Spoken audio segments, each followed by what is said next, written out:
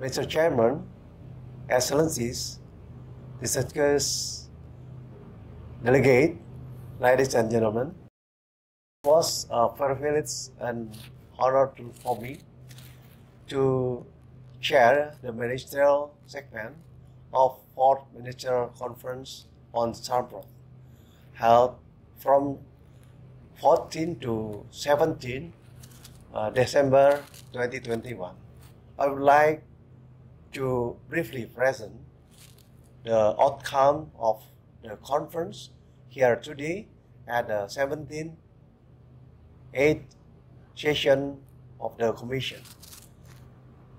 The conference deliberated again challenge in the context of the COVID-19 pandemic and call upon stakeholders to further intensive effort to address the region sustainability performance and enhance resilience to the future crisis after two years of the disruption the supply chain, transport connectivity, and mobility caused by the COVID-19 pandemic. The conference also discussed strategies for scaling up sustainable transport initiative in Asia and the Pacific, as well as a review pathway toward a vision and resilient transport and the logistic network and environmentally sustainable transport system, as well as safe and inclusive transport and mobility.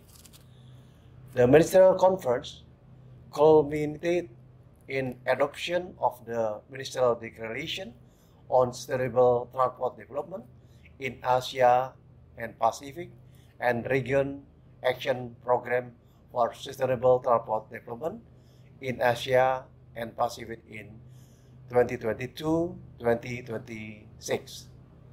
The conference has also decided to conference the next ministerial conference on the transport in the 2026 to evaluate the implementation of the region action program and to consider a future program of work.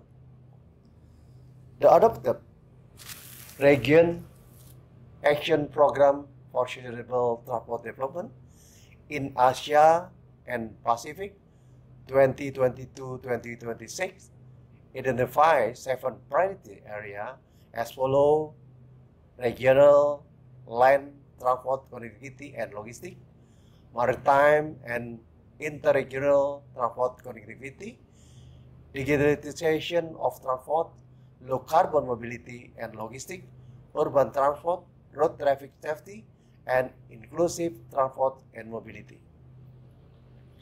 Ministerial declaration and regional action program are fully aligned with the 2030 agenda for the sustainable development and also support the theme of this year commission session, a common agenda to advance sustainable development in the Asia and Pacific.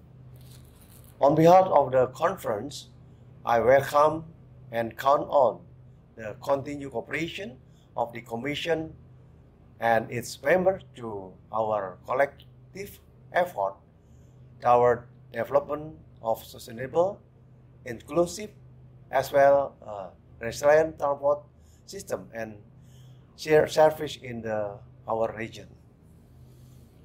Indonesia has submitted a draft resolution on the implementation of ministerial declaration on the sustainable transport development in Asia and the Pacific and was reviewed by informal working group on draft resolution. Therefore, I seek support of member of the commission for its adoption. Thank you for chair.